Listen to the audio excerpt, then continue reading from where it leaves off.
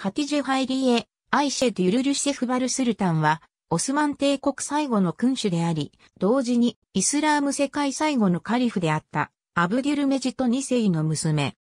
デュルリュシェフヴァル・スルタンと長男のバルカト・アリー・ハーン、1934年1914年1月26日、廃位されたスルタン・アブデュル・アズイズの息子の一人、アブデュルメジトと、その第三夫人アティエミヒスティカドゥニエフェンディの間の一人娘として、イスタンブールのユスキュダルにあるチャムルジャ宮殿で生まれた。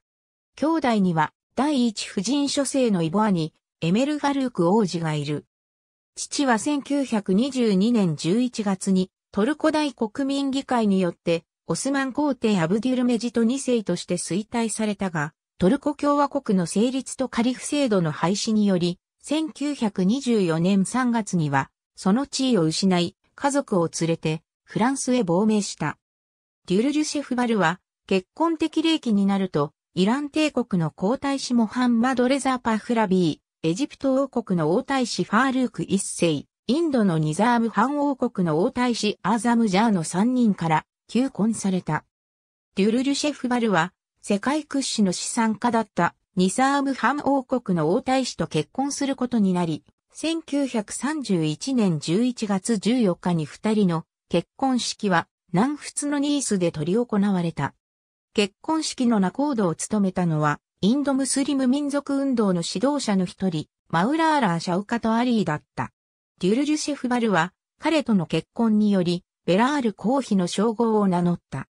父、アブデュルメジトが解明的な知識人だった影響で、デュルジュシェフバルも近代化と社会改革に熱心であり、その美しさも相まって、嫁ぎ先のハイデラバードでは高い人気を得た。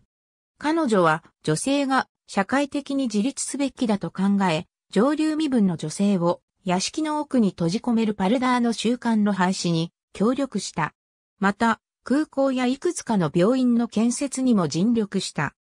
1947年にイギリス領インド帝国の崩壊に伴い、1948年9月に独立インド政府はニザーム・ハン王国の併合を宣言した。